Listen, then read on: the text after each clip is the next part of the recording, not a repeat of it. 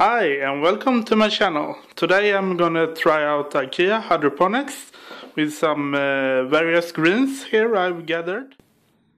So for the growing and the fermentation we're gonna use this medium which is rock wool and uh, I have some seeds here I'm gonna plant. So first I start off with a grill stick and um, put two holes in it like this and then I'm gonna try to put down the seeds here, maybe two seeds, and uh, put it down a little bit there.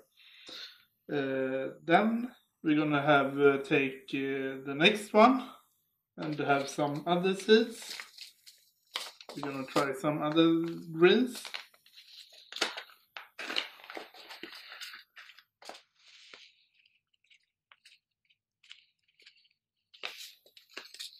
Here we have and little hole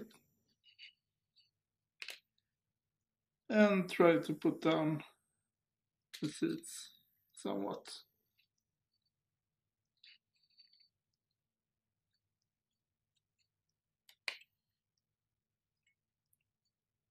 And then you're gonna spray with uh, some water and soak it and then you can start the fermentation. Uh, different seeds take different time. This is basically what it looks like when it's finished and uh, I'm gonna fill the net baskets up with hydrograins to uh, stabilize and also prevent uh, algae growing up. So I take some corns like this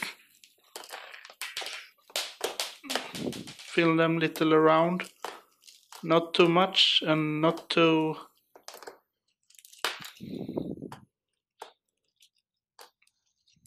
not too less either. So basically this should do. And I just put away the other ones. And I will start to fill up every basket and uh, put it under my uh, grow light. After a while this will start to grow and uh, when they do I will put them in here. Uh, as you can see this one uh, I've already prepared and uh, they are about 12 days old.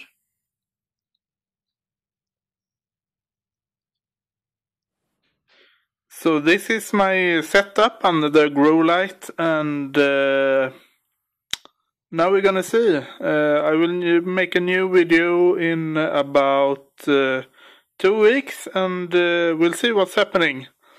So thanks for watching and uh, happy growing.